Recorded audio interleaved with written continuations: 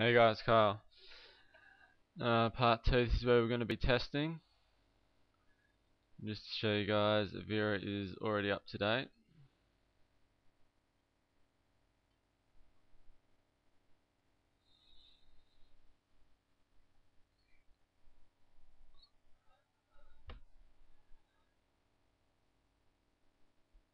Okay, up to date. Link 1.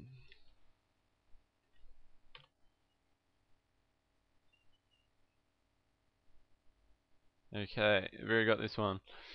And I'll just explain to you what these mean. Move to quarantine. Well, it means move to quarantine. Delete, delete, rename, rename.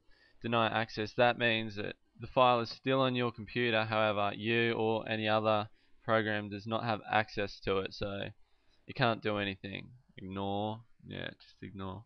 We want to get rid of it. Or move to quarantine is normally your safest because it could be a safe file and that gives you time if you later want to restore it. But we know it's bad. Okay, so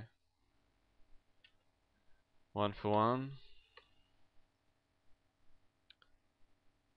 Got this one too.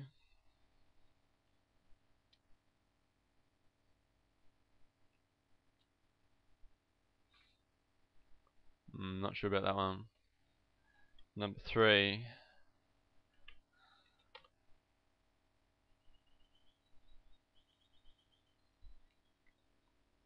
Okay, this is a rogue. Normally antiviruses have a hard time catching rogues and the reason is because generally rogues don't actually perform anything malicious and what they do do is they still sort of they want you to pay for them because they say hey look your computer's infected blah blah blah blah pay us money we'll clean it which is a scam because they don't do anything. They're just after your money. They don't actually fix anything.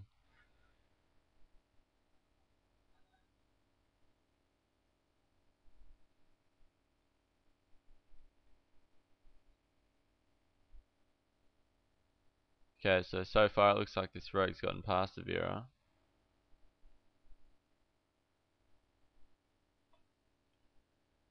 Okay, stuck on that page until it finishes downloading.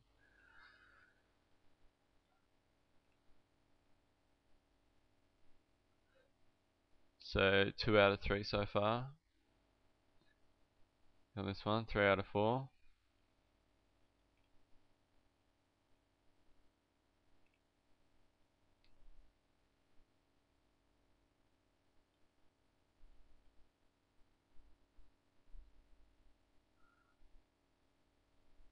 Four out of five.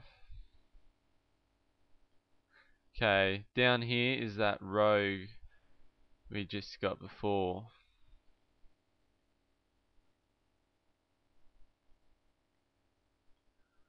Oh, it's really annoying me that thing. I'm going to close open new window.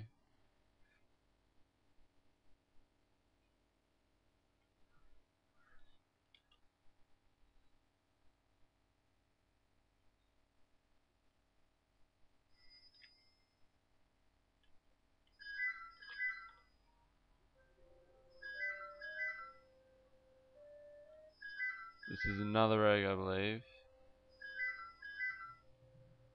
Now that one either did run or the file was corrupt. Not not really sure.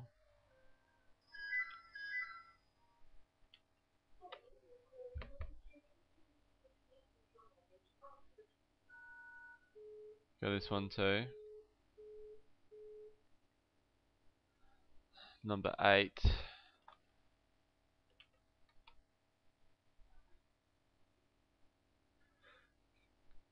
Okay, this is different. This is the heuristics. Generally with heuristics I recommend move to quarantine because heuristics can report a false positive and what that means is file's good but it contains something that might be suspicious.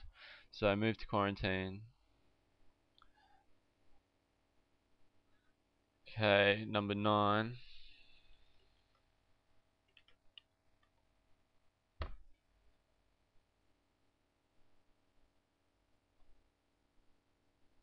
Got this one too.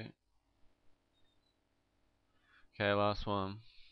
This is meant to be a PDF exploit. And it caught this one too. Okay, can't do anything.